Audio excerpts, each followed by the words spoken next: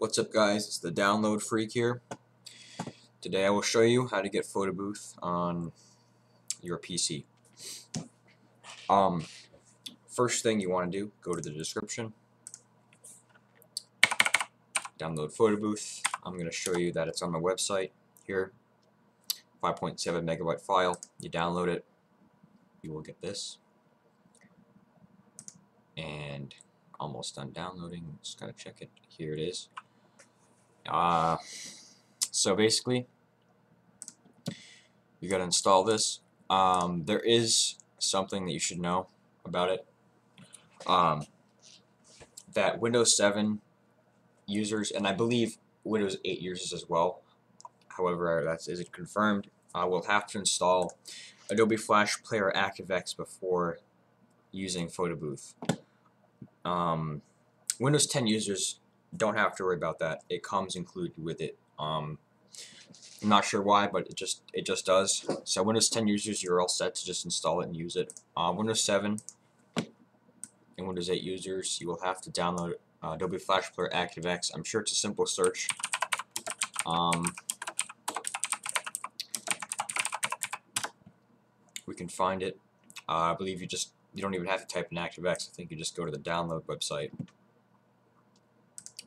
and find your version. You would probably do 7 Vista XP or maybe this. I still I don't know about Windows 8, but you select that. And here, Internet Explorer ActiveX, that's the version you need. Uh, you would probably want to you know uncheck these because they install stuff that you aren't asking for. But yeah, you would download it, install it. That should give it um, the prerequisites it needs to run. So, um, the other thing is that after you, where is it? Here.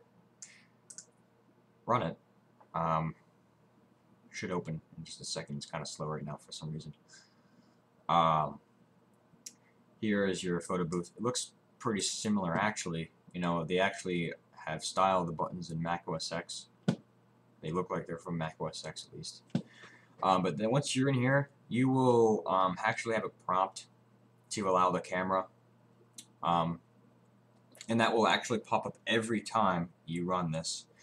And to get rid of that, you just right click inside this area and then settings and make sure you check remember where you will remember that your camera is allowed to be used by this program so it won't ask every time. It'd be annoying.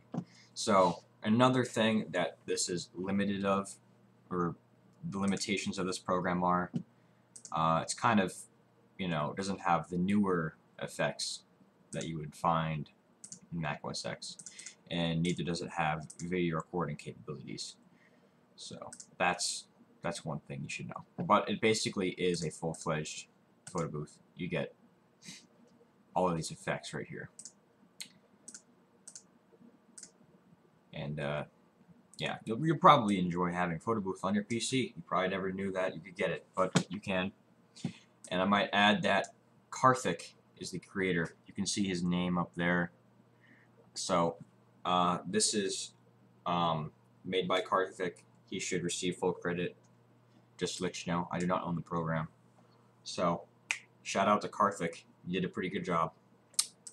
Anyways, uh, that's it for today, guys. Hope to see you in the next video.